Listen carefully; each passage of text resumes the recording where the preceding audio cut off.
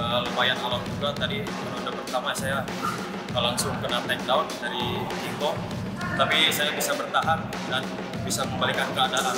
Ya, itu aja.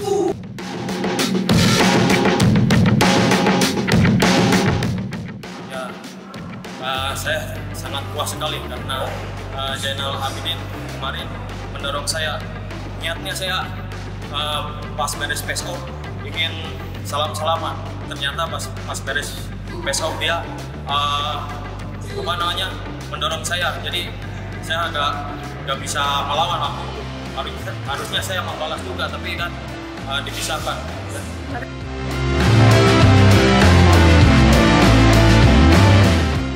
Oh, untuk game plan saya tidak merencanakan sesuatu. Mengalir mengalir aja seperti batu ke bawah banjir itu aja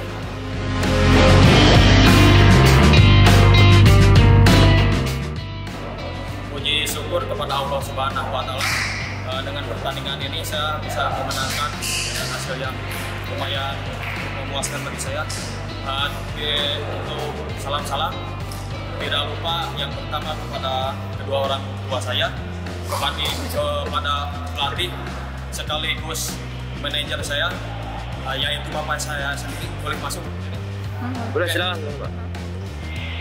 ya jadi eh, inilah yang mengembali ke saya Eh, sesudah pindah dojo saya latihan dari eh, latihan latihan bela diri. Dari nol dilatih grappling striking fisiknya semua dari beliau. Beliau gak punya bela diri tapi beliau bisa eh, memotivasi saya karena beliau adalah ayah saya sendiri sekaligus pelatih saya sendiri.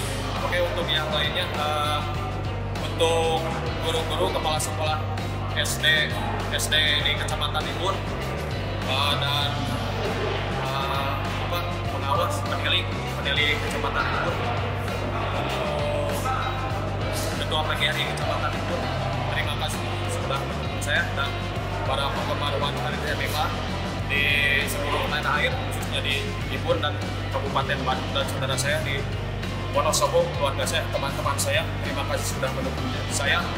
Dan jangan lupa saksikan One Rank Sabtu jam 10 malam hanya di One. TV One. Oke.